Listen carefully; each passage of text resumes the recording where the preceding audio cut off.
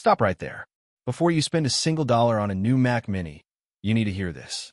Because what looks like a smart upgrade today could turn into one of those purchases you regret way sooner than expected.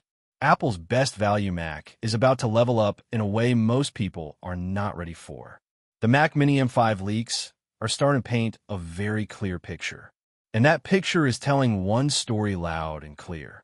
Waiting might be the smartest move you make this year. Right now, the M4 Mac Mini looks like the perfect machine. It is small. It is fast. It is quiet. It fits almost any desk setup. And on paper, it feels like the best balance of price and performance Apple has ever offered in a desktop. For a lot of users, it feels like the obvious choice. And that is exactly why this moment matters. Because Apple is about to pull the same move it has done before. Release something good. Let people rush in then quietly drop something much better at the same price not long after. The M5 Mac Mini is shaping up to be that moment. And once you understand what Apple is changing, the M4 suddenly starts to feel like the warm-up, not the main event. Let's be honest for a second. The M4 Mac Mini is not a bad machine. It is actually very good. It handles daily work with ease. It edits video smoothly.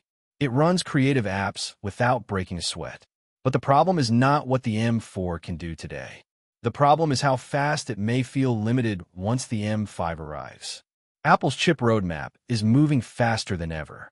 Each generation is no longer about small speed bumps. It is about shifting how computers think, process, and handle tasks. And with the M5, Apple is going all in on two things that will define the next decade of computing. Artificial intelligence and graphics performance. This is not about opening apps a second faster. This is about machines that can process AI tasks locally. Real-time image generation, on-device voice processing, smart automation, advanced photo and video tools that do not rely on the cloud. Apple wants these features baked directly into the chip. And the M5 is rumored to be the first Mac mini chip designed from the ground up with that future in mind.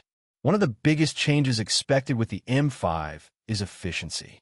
Not just speed, but how cool and quiet the machine stays under pressure. Early leaks suggest Apple has pushed power efficiency so far that the base M5 Mac Mini may run cooler than anything before it. Quiet enough that it barely needs active cooling. For many users, that means a truly silent desktop that can still handle serious workloads.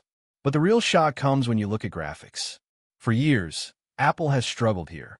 Integrated graphics were fine for basic work, but gamers, 3D artists, and heavy video editors always felt left out. Even when Apple's silicon improved things, GPU performance was still the weak point for many pro workflows. The M5 is rumored to change that narrative in a big way. The base chip alone is expected to feature 12 GPU cores. That is a noticeable jump around 20% better graphics performance right out of the gate. And this is not just a number. It translates into smoother timelines in 4K editing, faster exports, better performance in 3D apps like Blender, more stable gaming performance, less dropped frames, less stutter. For the first time, the Mac Mini may feel genuinely capable for users who previously had to compromise or look elsewhere. And when you combine that GPU boost with smarter AI-driven processing, the M5 starts to feel less like a small desktop and more like a compact workstation. Now let's talk about the two areas where Apple has received the most criticism over the years. Storage and memory. This is where a lot of people feel burned. Buying a great machine, only to realize too late that the base configuration is holding them back. The M4 Mac Mini starting with 256 gigabytes of storage feels outdated in today's world, especially for a machine aimed at creators and professionals. That space disappears fast. Video files, photos, apps, cache files. It adds up, and upgrading storage through Apple is expensive. This is where the M5 rumors get very interesting. Multiple sources suggest Apple may finally raise the base storage to 512 gigabytes. That alone changes the value equation completely. No more immediate external drives. No more juggling space on day one. Just a machine that feels usable out of the box. Memory is another potency. I'll win. While nothing is officially confirmed, there is strong speculation that the M5 Mac Mini will start with higher base RAM options, possibly 16 gigabytes as standard, maybe even a 24 gigabyte configuration for higher tiers. That matters more than most people realize. More memory means better multitasking, smoother performance over time, better longevity, a machine that still feels fast years from now. This is the difference between a computer that ages well and one that starts to feel slow long before it should. And here's the part that really makes people stop and think. Price. All signs point to Apple keeping the Mac Mini aggressively priced. The base M5 Mac Mini is expected to start around the same point as the M4, around $599, with higher-end versions landing in the premium tier, but still competitive for what they offer. Think about that for a moment.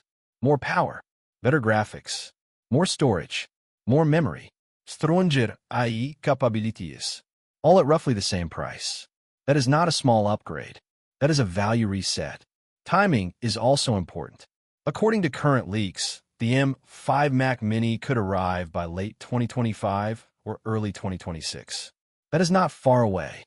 And when it lands, it is expected to redefine what people expect from a compact desktop. This is not just about faster browsing or smoother office work. This is about machines that can handle the next wave of software. AI-assisted creative tools, real-time processing, smarter operating systems.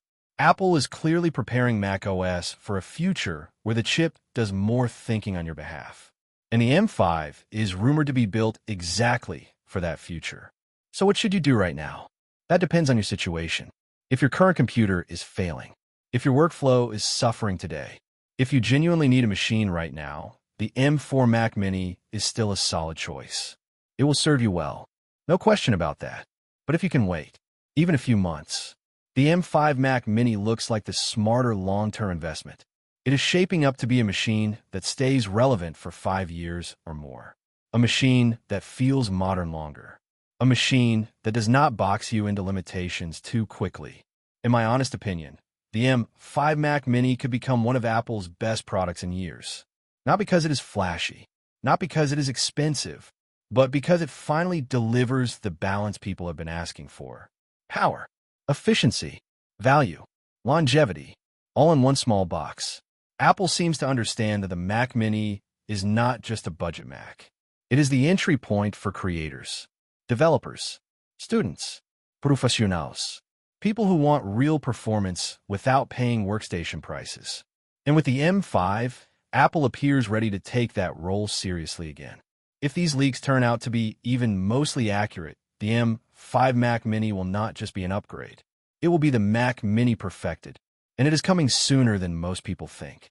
If you like this video, subscribe to the channel, share the video with someone who is thinking about buying a new Mac, and hit the bell icon so you never miss the latest leaks and updates.